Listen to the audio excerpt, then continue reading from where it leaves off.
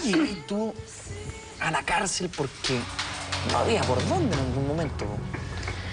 Eh, de tonta, po. yo creo que de tonta, eh, igual arrepentía, porque, no sé, en realidad me empecé a conocer gente, te involu- involucráis de la nada y pasan las cosas. Pero Las cosas tienen que pasar para aprender. posibilidades. Sí, pero así es la vida, po. me tocó y me tocó. Asumes que la condena que son cinco años y tú entras a la cárcel, pero entras embarazada, Sí, yo entré embarazada con dos meses. con dos meses de Sí. embarazo. ¿Qué pasa cuando nace tu, tu bebé?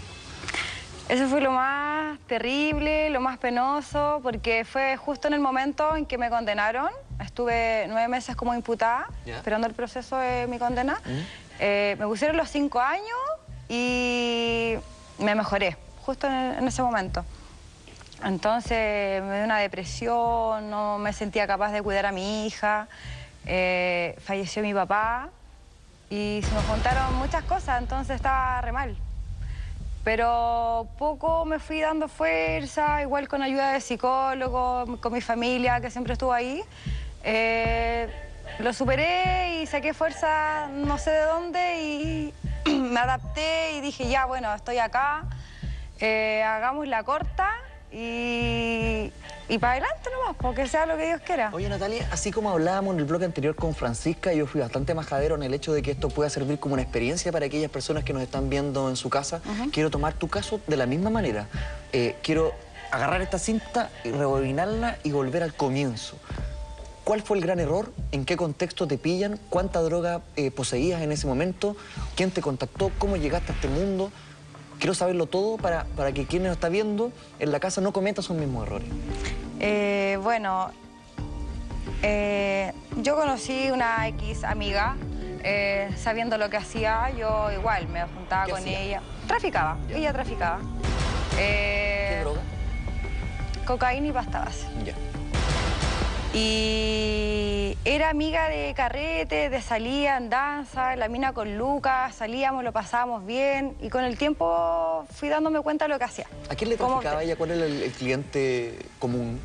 No, eso no lo sé, no podría decirte a quién, porque eh, así profundamente en sus negocios yo no sabía lo que ella hacía. Pero cuando iba a un carrete Pero- y estaba en algún pub, en una discoteca, ¿ella estaba traficando en esos momentos? No, ella jamás traficó así como en cantidades, ni que vendía en una esquina, ni eso. Ella entregaba cantidades grandes. Ya.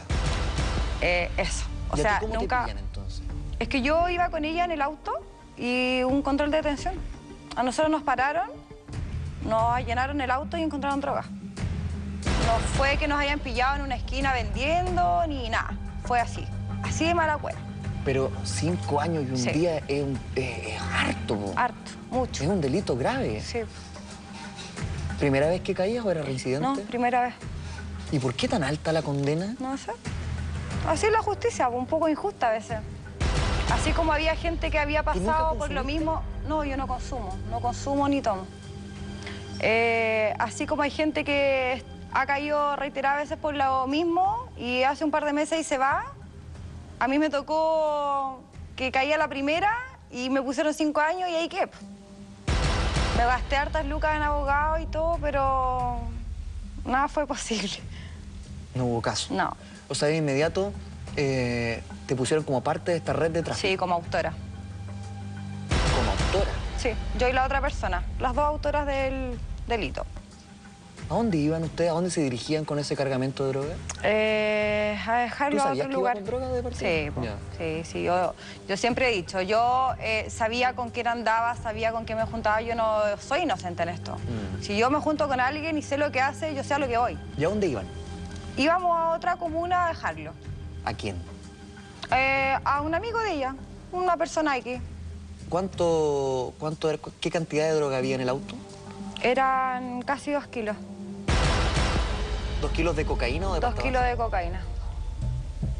¿Eso en el mercado cuánto es más o menos plata?